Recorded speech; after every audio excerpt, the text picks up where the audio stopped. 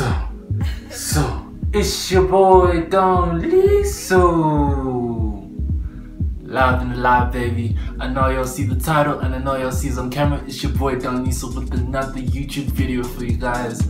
As requested, I have brought with me the sock challenge for you guys. But before we get into that, I just want to thank you guys so much for the first 100 subscribers. Just, you know, give yourself a round of applause. Did well. Um, so yeah, road to a thousand, baby. So without further ado, let's get it, let go. For the first sock ball challenge, I like to start with some normal juggles just to get my touch going. Um, I usually do up to about 30. And in terms of the barrier, I go four steps length and width. Uh, but you can start with a normal barrier, but I usually use that that one. But yeah. The next sock ball challenge, we're gonna go to small to big touch juggles. I usually do about 20, uh, just using your left foot. This is a really good challenge to um, focus on your instep. So yeah, it's good in that aspect. The next challenge is the same as the one shown previously except now using your right foot. This really does focus on challenging your instep. Um, these challenges are actually really difficult but as you as you practice it more they get easier.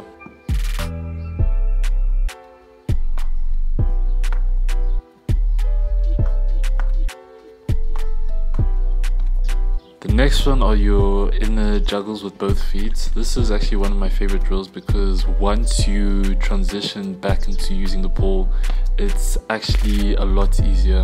Well, for me, yeah, it's a lot easier.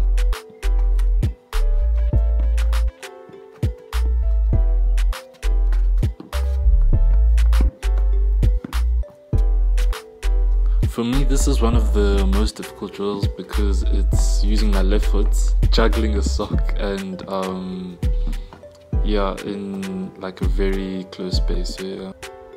Lol, nah, I changed my mind. This is actually my favorite one to practice. It's difficult, but it's one of my favorite ones to practice because once you transition um, to the ball, you actually, I feel like you're actually able to do more of it. So yeah. Now, of course, you have to do freestyle juggling. This is where it gets fun. Like it's it's fun, and so I really encourage you to at least pick a skill to to try out with the sock, and then do it for that particular day. That's what I usually do. So it's it's really fun. Now this this was where it really got interesting because um, I really wanted to um, challenge myself this day and do some walking juggles.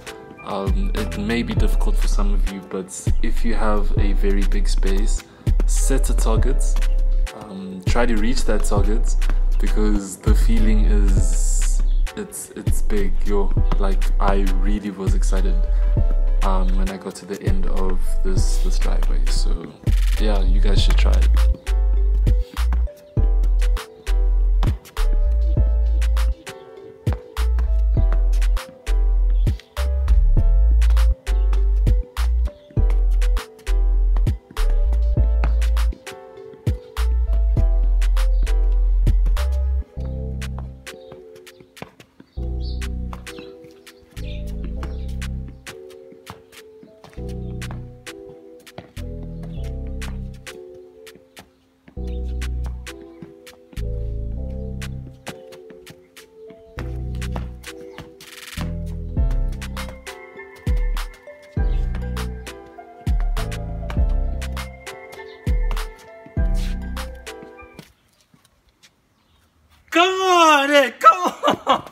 So guys, just to make things interesting for you, um, like I said with the wall drill, you should actually keep track of what you get um, with each exercise so that you know that you're improving on each of them.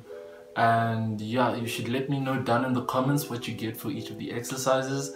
And yeah, maybe we could even challenge each other because it really is something fun to do because um, when you're playing with the ball, it's it's a bit easier, but like when you start challenging yourselves with other objects like like socks or even even fruits, like it just it really just helps you transform the way you control the ball. Um, Cause like when I was juggling the socks, the transition from socks to the ball was was incredible. I swear I felt like own. Like it's it's mad. So yeah, just just keep keep keep that in mind. Anyway, that's the end of the video. Just make sure you like, comment, and subscribe and turn on your post notifications so that you don't miss out on any bangers. I'm gonna see you on the next one. Peace out.